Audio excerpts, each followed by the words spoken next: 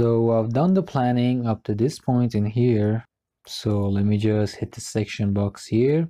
And I finished the suspended ceilings that were for these this floor here that was for the underground. And as you can see, this is what turns out.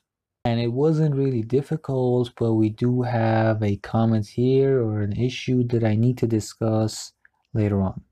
So let's continue with the explanation because I've done it for the other parts as well. Here in the CAD file, I go to the plan for the uh, ground floor. So here we have the heights 240, 200, 255, and then 270. So this 271 does cause us an issue. Let's pull up the plan for the ground floor so you can see and the 270 that I mentioned earlier was about this part in the lobby that's in the ground floor. So our floor to floor distance is 3.1 here. Let me just open up the CAD file again and go to the cut to check this once again.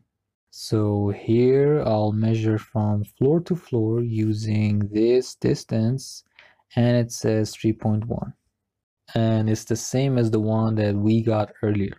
So let's see what we have from the floor to the ceiling. So it's exactly 2.7. But here's where the issue comes in because in the CAD file itself, in the planning, let me pull it up. So here for the suspended ceiling that we have, it does say 2.7 here. But if we take a look at the plan itself, we'll see that this is counting the ceiling itself. And this is where the collision comes in. And so let me go back to the Revit file and let's show you the, where the collision exactly happens. Here in the 3d view you can see it better. And this is this is exactly where that happens and our issue begins so let me just select this and go to the comment section and see what the problem is. So here I'm going to put the comment and we'll know when we can use it later on. It will be beneficial to us. So let me just type it in. I'm just going to write uh, the height of the false ceiling is ambiguous and problematic according to the information included in uh, the 07 sheet or in sheet 07. Uh, this height of the false ceiling of this space should be checked and the result informed. And there we go. So this will come in handy later on. You may not realize it now, but it will help us. Let me just type it out here.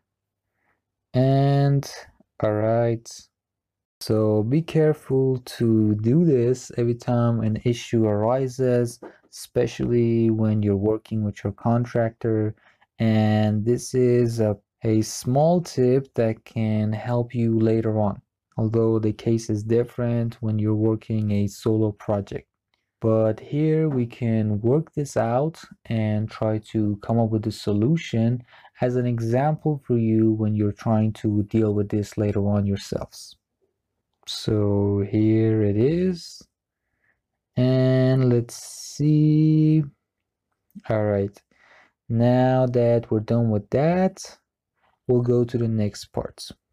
But after this, we'll be having a thorough review of this and see what the issue exactly is and how to get rid of it. So the rest of the plan was fine. And as you can see, all of the joinery was well done and we didn't have any issues coming up. So here it is. Let me just rotate this. And the only part remaining is the dimensions and the height that we have for the joinery in here. So this needs to come right below the roof that we have, the ceiling, because it was set in the plan. And in the joinery chart as well, it says it comes right under the ceiling. So I go here and I'll right click on this, open up the orient view and then floor plans, and then open up the ground floor.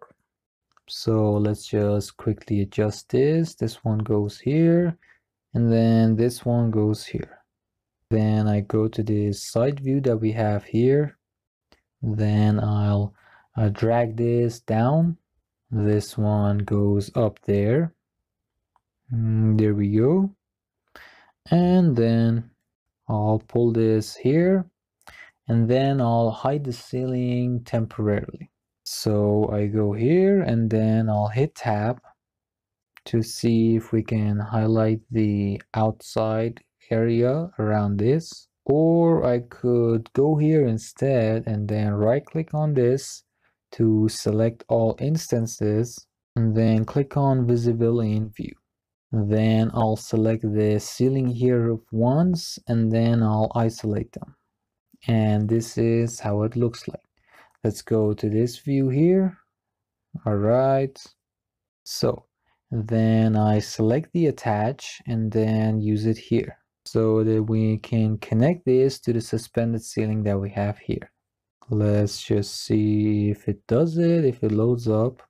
So attach may not be the best option that we have here. Let me just cancel it real quick because using attach takes a much longer installment. Therefore I go here and then I'll hit cancel here. So the height that we have for the suspended here ceiling here is 2.4 so the walls that we have surrounding this area here, I'll go here and then I'll select this. Then I'll put in minus 0.5 for the top offset. Let's see what happens. Uh, all right, let's just edit it to minus 0.6 this time. And let's see what it looks like now. All right, let me just zoom out of this and pull up this view here. So the processing for this method takes a much fewer amount of time because it doesn't have any calculations to do like when we use attach. So here this one's been fixed. And then I'll go here and then I'll hide the floor that we have here. So as you can see uh, this part has been fixed. We're waiting for this one. And then this part that we have over here is the lobby. And the height for this one is 2.55 and this other area was 2.4 so I'm just going to select the walls around this area right here. I'll select this one. And then I'll isolate it. Then I'll go to the side view here put it on wireframe. So we go to the top offset again and type in minus 0 0.55 all right let's retype it to 0.65 mm, okay. I think the minus 0 0.45 was closer. All right there we go. Then I'll right click here and then reset temporary and after I've done that I'll hide the flooring again. So for the area that we have here let's put on the suspended ceiling as well. I go to the ground floor. As you can see in the ceiling plans not floors. Let me just zoom in here on the plan that we have.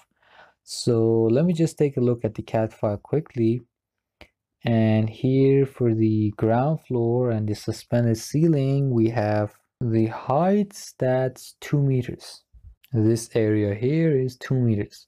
So I'll select this put the height at two meters and then I'll go to the sketch setting then click on auto. So cancel on the error here.